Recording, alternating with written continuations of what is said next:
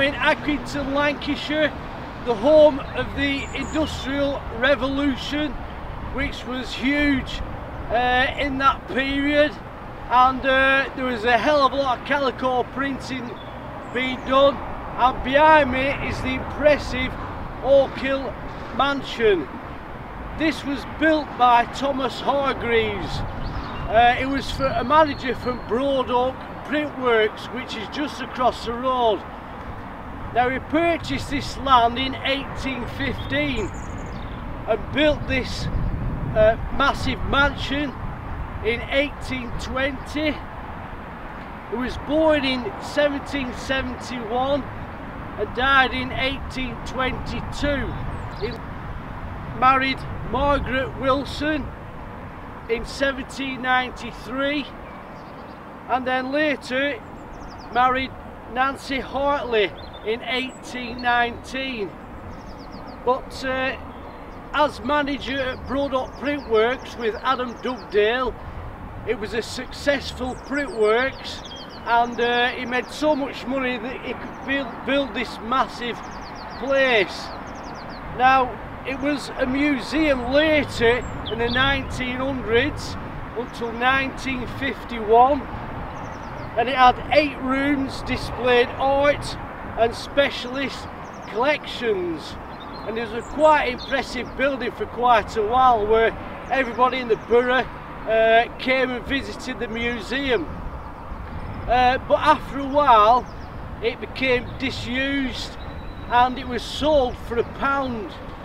And uh, in 1992 it went up for sale and eventually was sold in 1993 and refurbished as a nursing home. Uh, it's a grade 2 listed building.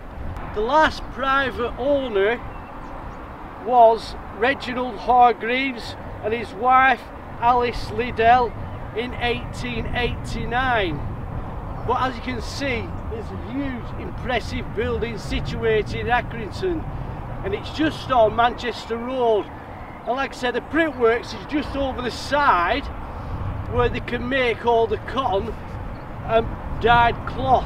Now Broadoak Printworks was a massive printworks in Accrington and uh, it was one of the biggest printworks in the borough. It was founded in 1792 by Taylor Fortenberry and Co of Oakenshaw.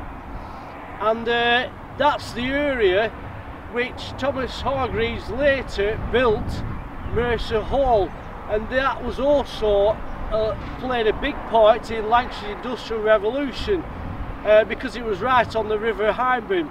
There's quite a few lodges at Broadoak Printworks and higher up the hill are two lodges and then further down another lodge the power was provided by seven water wheels and cloth was moved down the stream uh, from one end of the works to the other as it was processed but sadly it was demolished in the 1960s but later it became Callaghan Foam uh, Works where that works carried on for quite a while and a lot of people had jobs there and worked there happily and uh, it was a, a, very big workforce.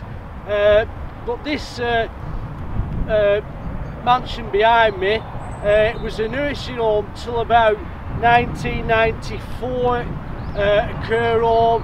And then later in 2020 it, they left and it is now unfortunately empty. And the council own the property now. Uh, so hopefully it's still, as you can see, it's preserved quite well. And it's been very cleanly restored uh, and it looks very impressive. Thank you everybody.